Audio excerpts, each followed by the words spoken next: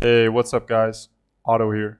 So, what I want to do now is work on the back end, and we want to create a private route just so you know how it works. And right now, we have routes that are open, which means they're not protected. You don't need a token to access them. And so, for example, let's say in business, we add private information that only if the user is logged in, he can see that information. And that would be information we want to protect. So in order to do that, we need to use that token and utilize the token. So first things first, let's create a new route.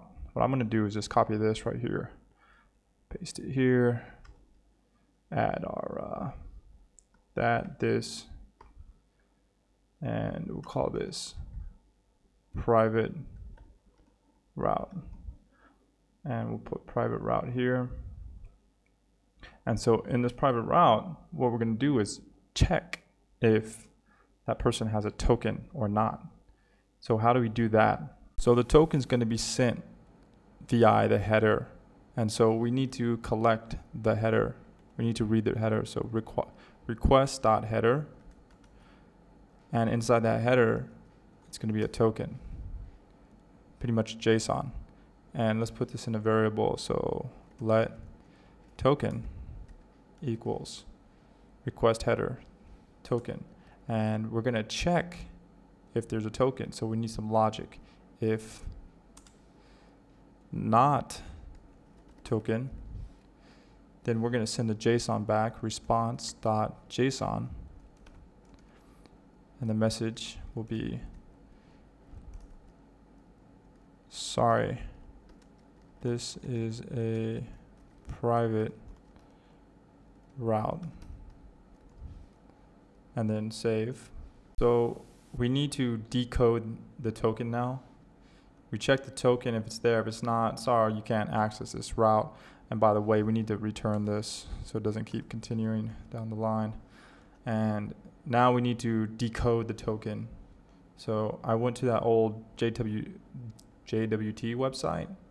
And if we go to that repo, it's going to give us some more examples. So I'm going to go ahead and search decode, decoded, and scroll down a bit. And here we go. Here's a good example. It's very simple. var decoded, verify the token. Remember that password we created? And then console log that decoded message. And so paste that in there. Our password's up here, by the way, see? When we signed it, we signed it with this password. Password is password.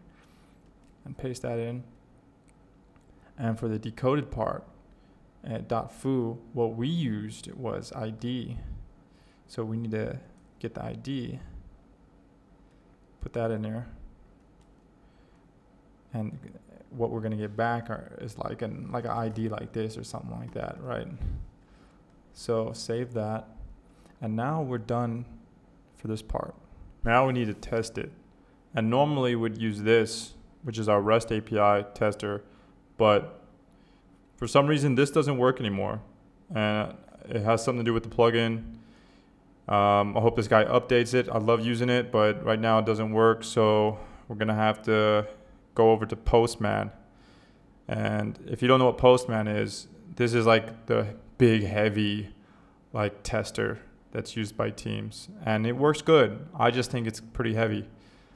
So, anyway, if you don't have that, download it, and let's go ahead and uh, enter the local host and the port number, and make sure you see the hello world, so we know it's working. And then our route is called private and it works as it should as it gives us the message sorry this private route this is a private route so you can't be here. You can't use this. And now we know that works so let's do some more editing. And basically we want to give the testing um, route a token. And in order to get that token we need to create one by signing up for an account. So we need to hit the sign up API with an email and password.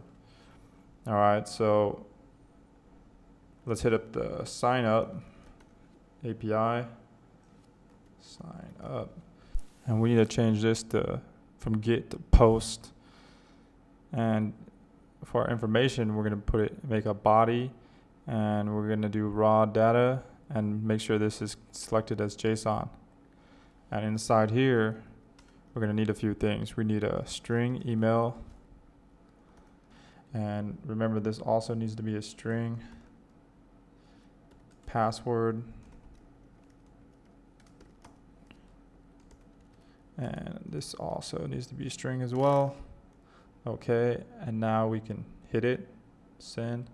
And now we have our token right here. All right so now we're gonna create a new route uh, test.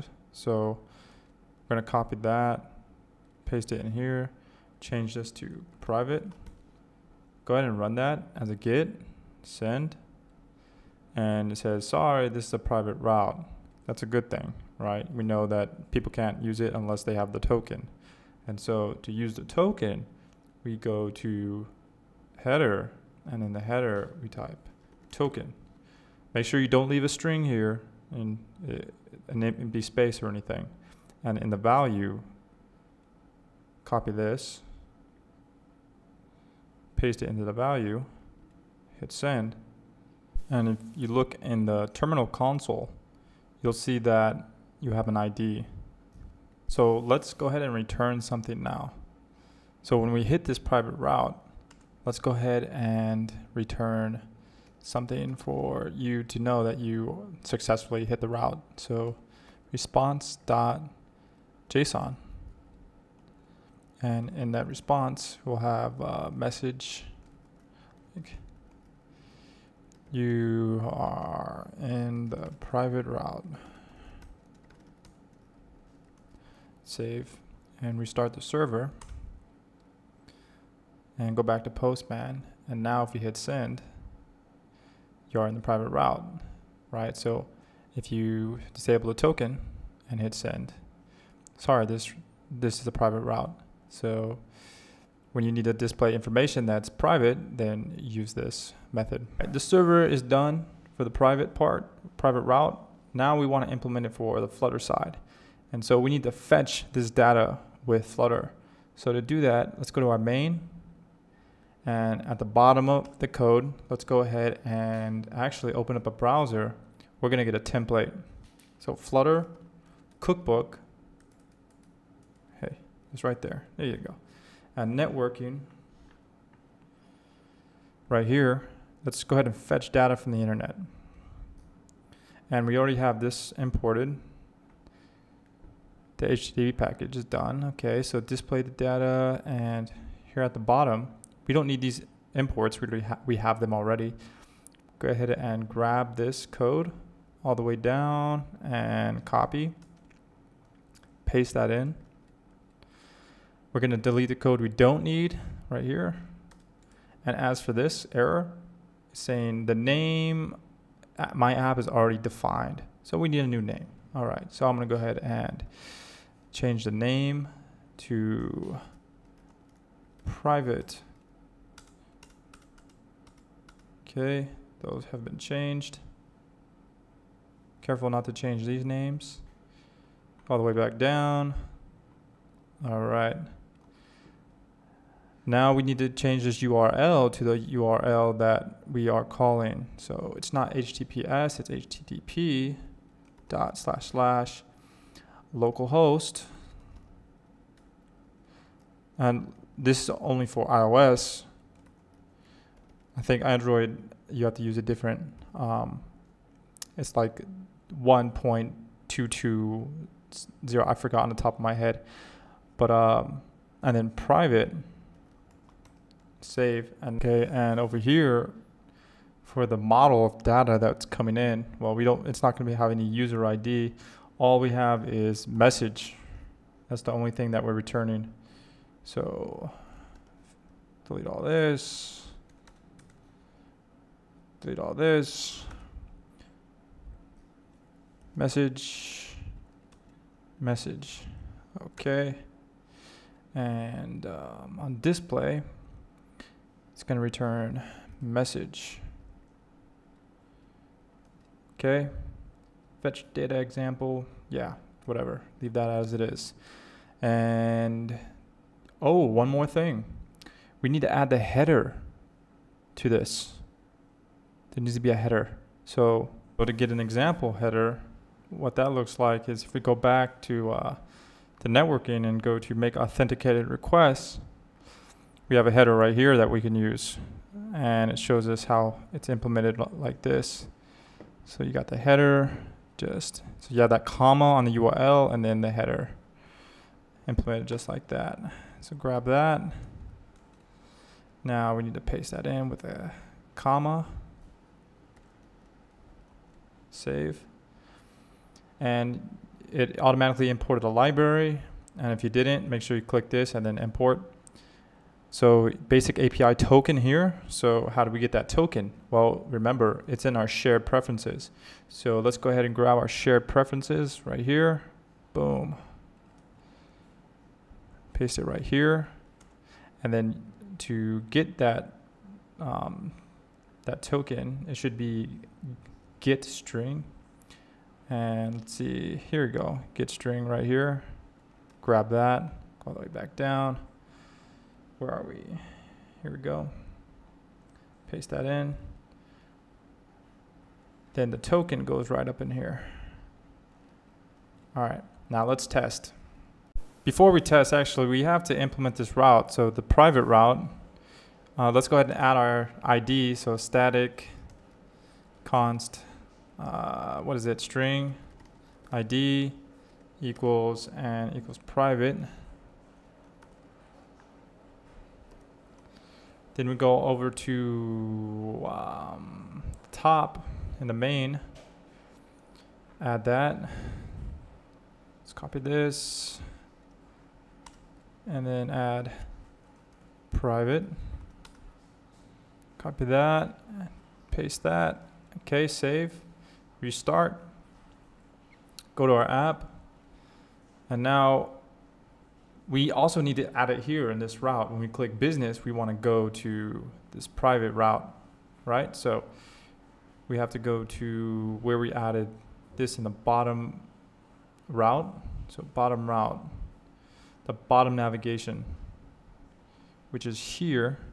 And so it's number two here. We got number one, number two, number three, and number two here. It says landing screen. Well, we want that to say private. Okay, save that. And now we go to our app, click this.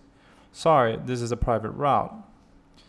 And which means that it's working, but it, the token is not going through. So let's find out why that is. So I'm gonna go ahead and go down here and uh, update some things. So the problem lies here.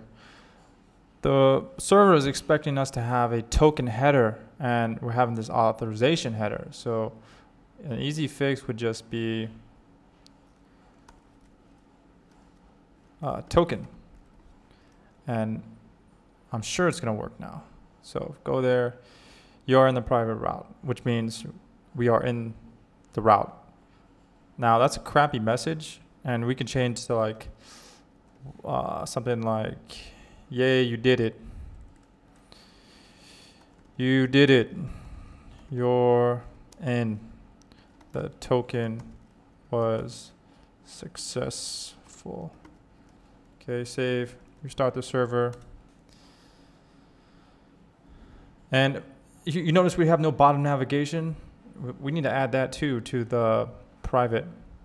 So this has a material app and I'm gonna head and exchange, I'm gonna exchange that with a scaffold. So scaffold, we need the scaffold to add the bottom navigation bar. And we're getting some, some errors. We don't need a title theme, all that. And here, the home, we gotta change that to body. Okay, and then finally go down to scaffold where it ends right there. Okay, and then type in bottom navigation bar and our bottom nav. Okay, save. And our app, go to business, and now we have a navigation bar, and you did it where your token was successful. So we're in the private route. That's awesome, right? Guys, that's a wrap. We got our register, our login, we have our landing page, our private route, and our logout. So, hey, if you got something out of this video, go ahead and smash that like button.